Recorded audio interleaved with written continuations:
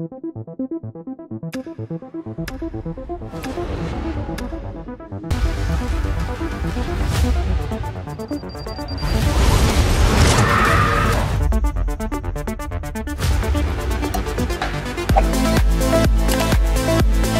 ถ้าจะพูดถึงปัจจัยสำคัญของการเล่นเกมในปัจจุบัน ปฏิเสธไม่ได้เลยนะครับว่าอุปกรณ์คอมพิวเตอร์หรือเครื่องเล่นเกมที่เราเล่น มีผลกับ performance ของตัวเกมมากน้อยขนาดไหน และไม่ใช่เรื่องแปลกเลยครับ ที่เกมเมอร์อย่างเราจะตั้งคำถาม ว่าอะไรเป็นสิ่งสำคัญที่จะช่วยผลักดันประสิทธิภาพของเกมที่เราเล่น ให้แสดงผลออกมาได้เต็มประสิทธิภาพ และคุ้มค่ากับราคาเกมดีๆ ที่เราเสียเงินซื้อมาสักเกม ซึ่งหนึ่งในคำตอบนี้นะครับก็คงหนีไม่พ้นการ์ดจอ VGA GPU หรืออะไรก็แล้วแต่นะครับที่เรียกให้เข้าใจตรงกัน ว่าเป็นอุปกรณ์ที่ประมวลผลถอดรหัสโค้ดสารพัดเพื่อแสดงผลให้เราได้เห็นภาพบนจอคอมพิวเตอร์ และแน่นอนครับ ถ้าคุณเป็นเกมเมอร์สาย performance ที่ชอบปรับสุด เพื่อให้ได้ภาพที่สมจริง คงรู้จักชื่อนี้เป็นอย่างดีครับ กับการ์ดจอ RTX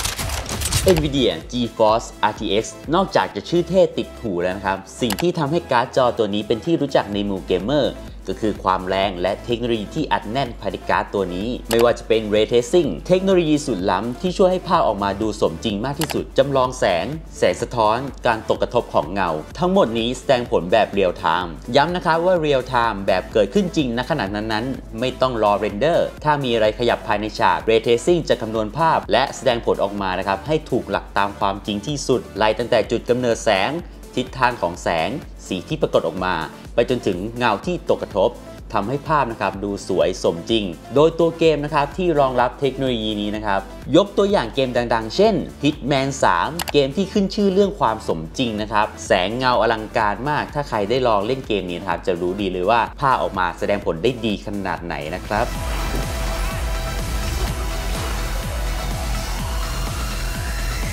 เกมต่อมาครับที่อยากจะแนะนำเลยก็คือเกม Minecraft ครับอาจจะดูเหมือนเกมธรรมดานะครับ แต่ว่าจะไม่ธรรมดาอีกต่อไปครับ ถ้าคุณได้ลองเล่นโดยการเปิด Ray Tracing โดยความที่ตัวเกมนะครับ มีสภาพแวดล้อมที่หลากหลาย ทั้งในทุ่งกว้าง ป่าเขาลำนาวไพรรวมถึงถ้ำลี้ลับ แสงสีจึงเป็นสิ่งสำคัญนะครับ ที่จะช่วยบิวให้เพื่อนๆอินกับตัวเกม และเพลิดเพลินได้มากยิ่งขึ้น นอกจากนี้นะครับตัวเกมอีกหลายเกมก็รองรับ Ray Tracing อีกเช่นกันครับอย่างเกมใหม่ๆ ก็จะเป็น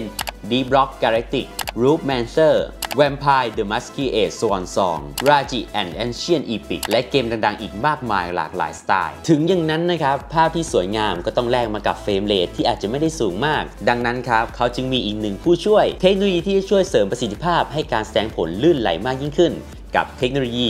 NVIDIA DLSS หรือ Deep Learning Super Sampling ฟังก์ชันการลบรอยหยักของภาพก่อนที่จะส่งออกมาที่หน้าจอของเรา โดยการทำงานของ DLSS จะทำการเพิ่มพิกเซลที่มีอยู่ สร้างภาพใหม่โดยใช้ AI สุดล้ำ ผ่าน Tensor Core ที่มีเฉพาะในการ์ดจอ NVIDIA GeForce RTX ช่วยลดการทำงานของการ์ดจอมากกว่าเทคโนโลยีอื่น ๆ ถูกออกแบบมาเพื่อเพิ่ม frame rate โดยมีให้เลือกคุณภาพได้หลากหลายโหมด ให้เราควบคุมความละเอียดในการ render ภายในเกม โดยโหมดประสิทธิภาพสูงพิเศษนะครับ จะสามารถเปิดความละเอียดสูงของ AI ได้สูงสุดถึง 9 เท่า ซึ่งการทำงานของ Ray Tracing และ DLSS นะครับ จะทำให้เราได้ภาพที่สวยงามใน frame rate ที่สูงกว่านั่นเอง เทคโนโลยีสุดล้ำแบบนี้คงไม่แปลกใจแล้วใช่ไหมว่าทำไม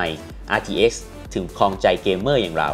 รวมถึงเป็นที่รู้จักในวงกว้างในวงการคอมพิวเตอร์ ทั้งนี้นะครับเพื่อนๆ สามารถสัมผัสประสบการณ์ Ray Tracing และ DLSS ที่มาพร้อมเทคโนโลยี AI ได้ในการ์ดจอ NVIDIA GeForce RTX Series 30 ทั้งในโน้ตบุ๊กคอมประกอบ Desktop PC และถ้าจะให้ดีนะครับ ก็เข้ามา shop ได้ที่ www.advice.co.th หรือที่หน้าร้านสาขาทั่วประเทศ รวมถึงสปปลาวด้วย และอย่าลืมครับ นึกถึง IG นึกถึง Advice จำหน่ายและซ่อม ครบจบในที่เดียวครับ